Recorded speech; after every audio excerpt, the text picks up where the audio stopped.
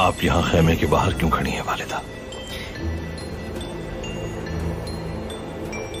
बेबुलात ने हमारे औताक में दाखिले पर पाबंदी लगा दी। सरदार आला बनते ही उसने हमारा जीना दुश्वार कर दिया।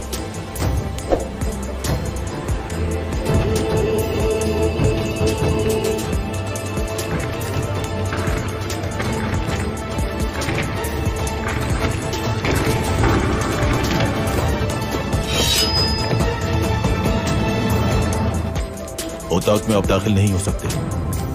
क्योंकि बेबुलाद सरदार ने यही हुक्म दिया है।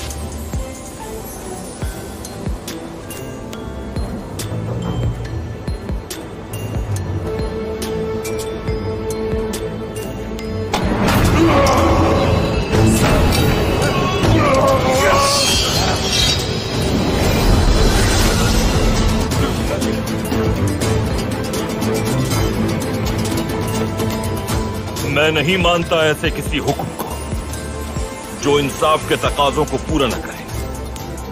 अगर दोबारा मुझसे कभी इस लहजे में बात की तो मेरी तलवार रुकेगी नहीं तो तुम्हारी मजबूर था अर्तुगरुल सरदार।